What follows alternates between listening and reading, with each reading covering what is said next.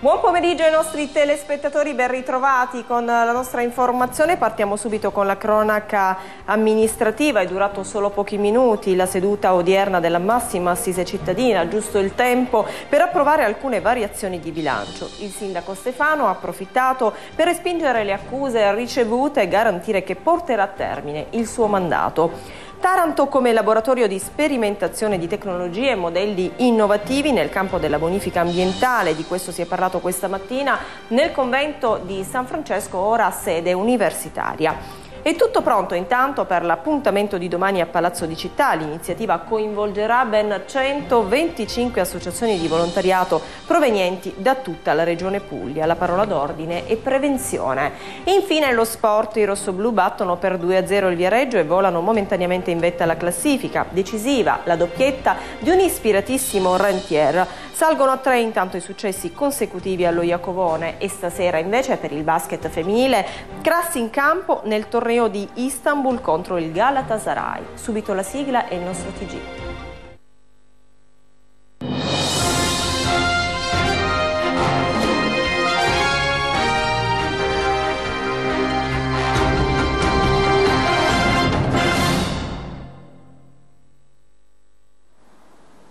Pomeriggio e ben ritrovati con la nostra informazione, lo avete sentito dai titoli, l'apertura è dedicata alla seduta di oggi del Consiglio Comunale, una seduta eh, assolutamente breve, una seduta lampo, durata solo pochi minuti, il tempo lo dicevamo per approvare qualche variazione di bilancio. Il sindaco Stefano però ha approfittato per rispondere alle accuse degli ultimi giorni mosse al suo indirizzo da parte di alcuni esponenti politici. E per garantire che eh, porterà a termine il suo mandato fine, fino a fine legislatura. Ma sentiamone di più. Seduta lampo del Consiglio Comunale di Taranto con 18 presenti per la maggioranza e 6 per l'opposizione è stato raggiunto stamane il numero legale che ha permesso il regolare proseguo dei lavori dopo che le due sedute precedenti della massima assise cittadina erano andate praticamente deserte rinviando ad oggi la discussione di importanti punti all'ordine del giorno approvati dall'ente di Piazza Castello. Sindaco, raggiunta la maggioranza in Consiglio Comunale i lavori della massima assise cittadina si sono svolti regolarmente Presidente, che cosa si sente di rispondere alle polemiche dei giorni scorsi, soprattutto quella in merito all'amministrazione Stefano? C'è chi dice, soprattutto ovviamente l'opposizione, che ci sono dei problemi interni anche alla stessa maggioranza? Beh, io direi che il Consiglio Comunale di oggi ha dimostrato in maniera molto chiara che queste voci sono completamente false. Però quello che voglio sottolineare L'amministrazione, cioè la parte politica, il Consiglio Comunale, deve tutelare i cittadini di Taranto e la città di Taranto. Questa maggioranza ha come primo scopo, primo obiettivo, primo dovere tutelare la città di Taranto e tutelare i, diritti dei tarantini. Ora, di fronte a comportamenti in cui stanno ad evidenziare semplicemente diciamo, le, la fragilità in certi momenti del numero che è una cosa, voglio dire, poco significativa e se vogliamo anche sgradevole, per far mancare il numero legale e quindi nel tentativo di colpire questa maggioranza in realtà danneggiano pesantemente i cittadini e la nostra città. È evidente che questa maggioranza si è adeguata a questo tipo di guerriglia contro la nostra città e abbiamo trovato lo stratagemma come superare questi, tra virgolette, della politica cecchini, lo ripeto, e quindi abbiamo in, in maniera schiacciante eh, approvato in pochi minuti come dovrebbe funzionare una sana amministrazione, cioè quella che si batte a favore della propria città e dei propri cittadini abbiamo varato tutto. In merito alle polemiche sollevate dalle forze di opposizione che hanno definito politicamente debole l'amministrazione Stefano, il presidente del Consiglio Comunale di Taranto, l'avvocato Gina Lupo, ha risposto in questo modo.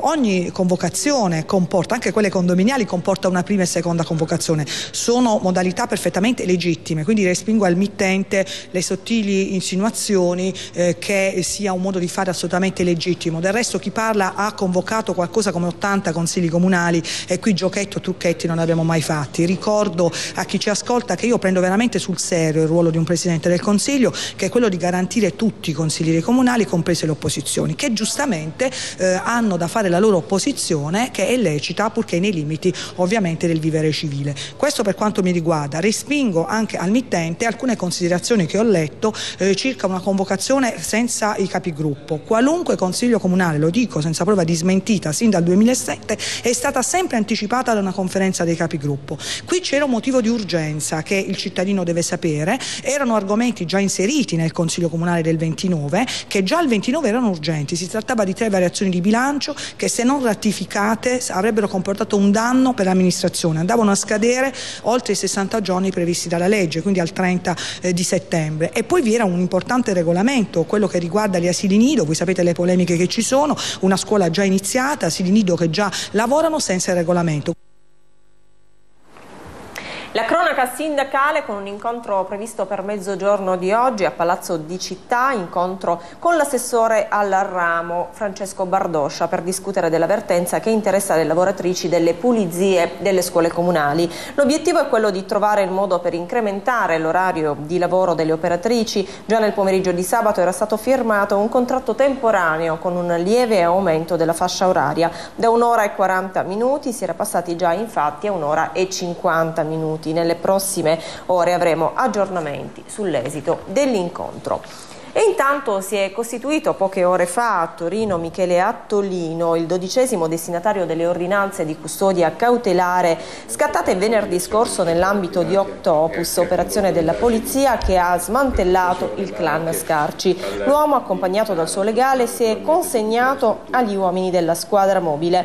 Interrogatori intanto nella tarda mattinata di oggi davanti al GIP del Tribunale di Taranto Pio Guarna degli altri 11 soggetti raggiunti da ordinanza di custodia cautelare in carcere perché accusati a vario titolo di associazione mafiosa, porto e detenzione illegale di armi ed esplosivi, estorsione, usura, intestazione fittizia di beni, atti di concorrenza con violenza e minaccia e pesca di frodo con esplosivi. L'operazione messa a segno dalla squadra mobile della questura ionica avrebbe alzato il velo sull'attività illecita messa in atto dal presunto sodalizio facente capo a Francesco Scarci, un clan che a quanto pare stava riorganizzando la propria struttura sul territorio al fine di controllare diversi settori della vita cittadina, da quello che orbita attorno al mercato ittico fino a quello del calcio.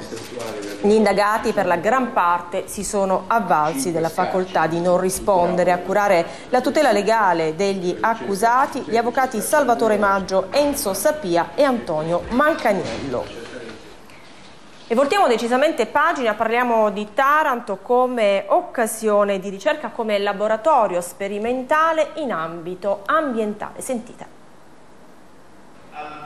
Taranto laboratorio di sperimentazione di tecnologie e di modelli innovativi nelle bonifiche ambientali. Presso la seconda facoltà di giurisprudenza nella nuova sede della caserma Rossarolo sono stati illustrati ai sottosegretari all'ambiente, all'università e alla ricerca scientifica Catone e Viceconte i contenuti scientifici del polo scientifico tecnologico della Magna Grecia. Taranto da città più inquinata d'Europa può ambire a diventare la capitale della ricerca, il governo ci crede? Beh, io ho appena detto che da un danno si può trarre un utile. Nel centro che il polo scientifico tecnologico è solo la prima pietra, il primo passo, se unite ad esperienze e opportunità che ci offre la comunità europea tipo il centro di biotecnologie marine e di biodiversità marine, io penso che Taranto possa ambire a diventare realmente una stella miliare in eh, Italia e in Europa per la ricerca. Recentemente è andata alla ribalta delle cronache anche nazionali il caso dei mitili contaminati da diossine e PCB e quant'altro. Ecco il governo cosa sta facendo per lenire questa grande sofferenza dei mitili coltori? Beh, indubbiamente io credo e ho appena lanciato una proposta che è la stessa che abbiamo adottato per Pescara per la chiusura del porto nazionale di Pescara è stata quella di affidare al prefetto l'incarico di riunire un tavolo istituzionale in cui siano presenti tutti dalle classi produttive alla regione, alla provincia, ai comuni, alle università, a praticamente tutti eh, i responsabili con l'affiancamento indubbiamente di quelle che sono le capitanerie di porto perché indubbiamente sono coloro i quali vivono e vigilano sul mare per cercare in un'unica riunione, dico unica, potrebbero essere due o tre, di risolvere la problematica e trovare soluzioni, soluzioni all'immediato fabbisogno per la vitinicoltura e soluzioni progettuali per un futuro. Il governo come interviene in questo processo, in questo progetto? Beh, noi interveniamo cercando di finanziare quello che l'iniziativa che nasce intorno al tema dell'università di Taranto che dovrà coinvolgere anche il mondo dei privati, ci deve essere una ricerca che deve essere applicata, finalizzata al, ai siti di, di disinquinamento di quest'area e di collaborazione importante anche con tutto il mondo dell'impresa della piccola e media impresa che è di Taranto per far sì che possa crearsi anche un'opportunità economica in questo territorio. San Raffaele futuro inquietante, la regione dica basta e investa quei 200 milioni per il potenziamento del sistema sanitario tarantino. La richiesta di fallimento, gli accertamenti in corso per il reato di bancarotta, le indagini della magistratura su presunte irregolarità, un CDA composto da personaggi con un passato poco chiaro. Le prospettive scaturite negli ultimi giorni per il San Raffaele sono a dir poco inquietanti. A parlare e Aldo Pugliese, segretario generale della Will di Puglia e di Bari, che chiede alla Regione Puglia di assumere una posizione chiara e decisa sulla questione relativa alla fondazione che è la colonna portante della rete ospedaliera del San Raffaele. E a proposito invece dell'alluvione di marzo scorso, una nota del Comitato Terre Ioniche, Basilicata in via di definizione l'ordinanza con l'accordo tra governo e regione, Puglia invece tutto tace. Risoluzione dell'Assemblea del Comitato Terreioniche di sabato sera è proprio questo, si, dice, si legge nella, eh, nelle conclusioni soddisfatti dell'annuncio dell'assessore Rosa Gentile che conferma la disponibilità di oltre 7 milioni di euro da parte della Regione Basilicata che si sommano ai 7 stanziati sulla manovra nazionale, delusi invece dell'assenza di risposte della Regione Puglia i cui cittadini continuano a non avere alcuna prospettiva di soluzioni. E adesso invece parliamo di un interessante progetto che viene sempre dalla Regione Puglia che mira ad arginare il fenomeno della dispersione scolastica. Taranto aderisce al progetto Abreu contro la dispersione scolastica che registra un'elevata incidenza soprattutto nel quartiere Trecarrare Solito. Il progetto punta a costituire un'orchestra giovanile. 30 i destinatari del progetto presentato a Palazzo di Città. Come si svilupperà il progetto? Si svilupperà, avrà una durata di tre anni. Naturalmente il primo anno prenderà l'avvio nel mese di novembre perché stiamo ultimando la, la, la messa eh, a norma della, della, struttura nel quale svolgeranno le elezioni che è in via Pisa, eh, dopodiché con delle lezioni dimostrative nelle scuole si avvierà la fase di individuazione dei 30 bambini destinatari. Dopodiché ci saranno due incontri nei pomeriggi settimanali da qua fino alla fine dell'anno scolastico, fino a giugno ma se possiamo anche fino a luglio luglio. Sono previste già dopo i primi mesi di attività delle fasi di output, di uscita sul territorio, nelle varie, nelle, anche nelle altre scuole, negli altri quartieri non interessati, per far sì che la città di Taranto abbia davvero la consapevolezza di essere un'esperienza pilota a livello non solo regionale ma a livello nazionale. Assessore, dunque il quartiere Tre Carrara è Solito, quello dove si registra una maggiore incidenza di uh, dispersione scolastica, dunque è da lì che si comincerà a lavorare per questo progetto? Sì, cominciamo da lì tenendo avendo ovviamente comunque avendo come obiettivo quello di non perdere lo sguardo complessivo sulla città. Certamente i dati sono quelli oggettivamente resi dall'ufficio scolastico provinciale e di lì partiamo. Eh, lavoreremo per la prevenzione, quindi opereremo con la scuola primaria in maniera preliminare. Il nucleo di 30 bambini destinatari del progetto potrà allargarsi, certo ora siamo in una fase assolutamente iniziale, sperimentale, andrà monitorato, lo seguiremo con molta attenzione per un progetto in cui crediamo molto. Io sono molto contenta soprattutto per il risultato ottenuto nel mettere in rete non soltanto tutti i livelli, avete visto la presenza della provincia, avete visto la presenza della regione, ma anche la scuola per eccellenza di formazione, faccio riferimento al liceo musicale e poi mi ha fatto molto piacere che il Comune sia stato eletto come interlocutore da parte dell'AMS, che è poi il soggetto attuatore del progetto, che ha una forte credibilità e credito a livello nazionale e oltre. Assessore Godelli, questo è un progetto contro la dispersione scolastica, insomma bisogna lavorare sin da subito per promuovere la cultura. Questo è un progetto per la formazione sociale e culturale dei bambini e delle bambine di Taranto a partire dalle zone di maggiore sofferenza. La musica è di per sé uno strumento di sviluppo della persona e della socialità, ma è anche una prospettiva culturale straordinaria.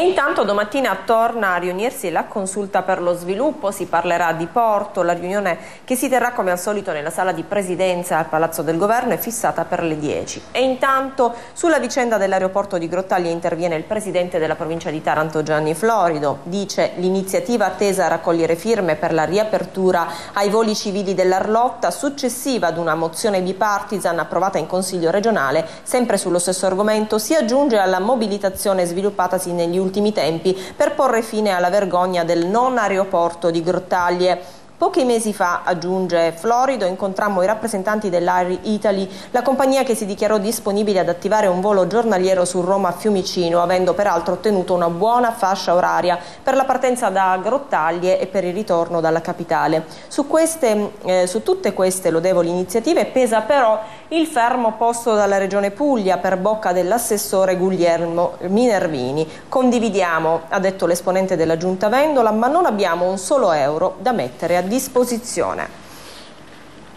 E intanto è tutto pronto per l'edizione 2011 della giornata del diabete prevista per domani. L'iniziativa coinvolgerà ben 125 associazioni di volontariato provenienti da tutta la regione Puglia. Sentiamone di più.